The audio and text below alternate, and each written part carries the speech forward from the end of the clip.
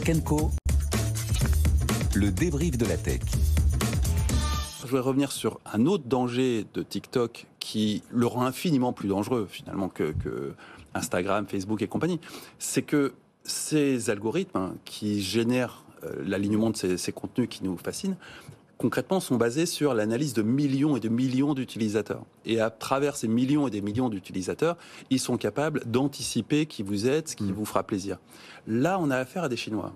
Donc on a affaire à des gens qui ont comme dataset non seulement les millions de bourrins américains et européens qui utilisent TikTok, mais Merci. également des, un milliard de Chinois qui eux-mêmes vivent dans une société de la surveillance permanente. Et donc, eux sont capables de faire une corrélation entre les milliers de données qu'ils extraient de votre téléphone et des comportements sociaux qui sont par ailleurs tout à fait identifiés. Donc, ils ont trois longueurs d'avance sur nous. Ils peuvent tout à fait revenir avec ce type d'application, appliquer ce que la société de la surveillance très caractéristique avec le crédit social chinois leur a appris et déduire d'informations tout à fait anodines comme la géologue ou Dieu sait quoi euh, sur votre téléphone qui utilise TikTok, déduire des choses que eux ont appris de leur population.